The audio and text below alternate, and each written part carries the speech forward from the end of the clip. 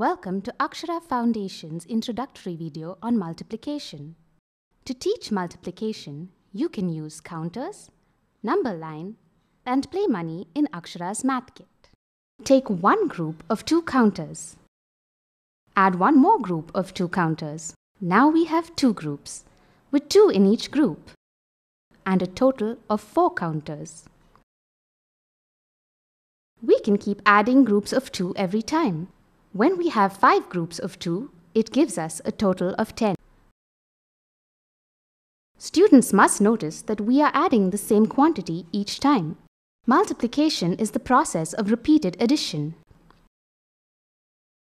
The number line can also be used to explain multiplication. Let students try skip counting by fives. For example, place a clip after every five beads.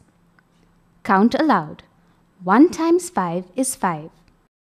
2 times 5 is 10.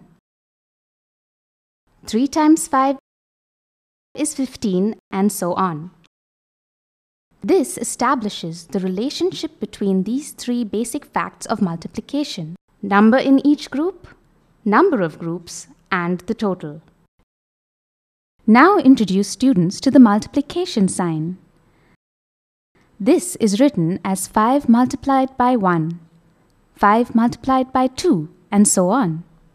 Here's a fun fact. Ask students to notice a pattern in the digits on the right when we are counting in fives. It is either a 0 or a 5. Children learn instinctively through handling play money. Give one 10 rupee note to Amina, two notes to John, three notes to Raju, Raju, for instance, has three notes of 10 rupees each. Thus, he has a total of 30 rupees. This can be shown as repeated addition or using the multiplication sign. Now let students notice a fun fact about multiplying with 10. For example, 4 multiplied by 10 is equal to 40, and 7 multiplied by 10 is equal to 70. Ask students what is 14 multiplied by 10. They just need to add 0 after 14. Similarly, 26 multiplied by 10 is 260. Here's a fun fact. 1 counter once is 1. 2 counters once is 2. 3 taken once is 3, and so on. The number 1 is a friendly number. When any number is multiplied by 1, the original number does not change. Multiplication facts can also be depicted by an area of a rectangle. For example, 5 times 3 is an array of 5 rows and 3 columns, forming a rectangle. Now, let students find out 3 times 5.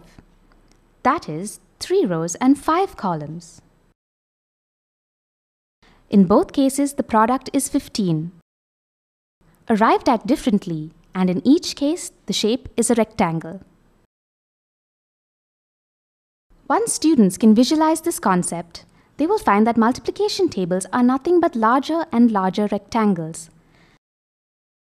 Once they have seen the pattern, they can also work out the tables for 3, 4, 6, 7, 8, and 9. Here's an important fact about multiplying by 0. For example, take 3 two times. When we remove one group of 3, we only have one group of 3 left. When that is removed, how many groups of 3 do we have?